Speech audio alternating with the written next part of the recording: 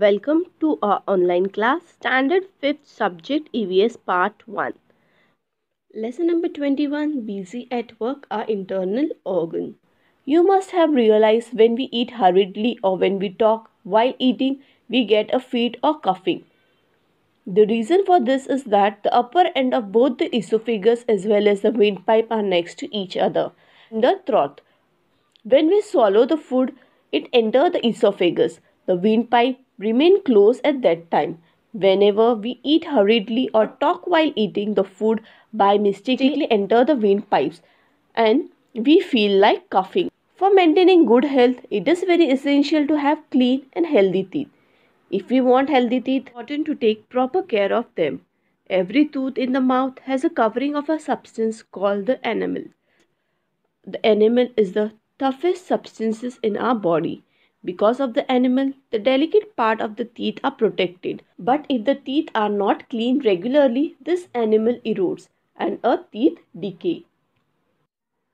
What happens when the teeth decay? Many microorganisms are present naturally in our mouth. If sweet substances remain stuck to our teeth for a long time, microorganism grows in the large numbers on it. This microorganism break down those substances because of which acid is produced. The acids produce a small holes in the enamel of the teeth and these holes further reach deep inside the teeth. The tooth start paining and the pus is formed in it. This is called as decaying of teeth.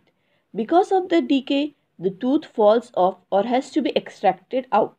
While eating, we enjoy many different tastes and flavors.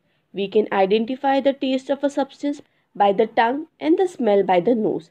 But sometimes we feel that a food item tastes or smell bad. This can happen if the food has gone spoiled.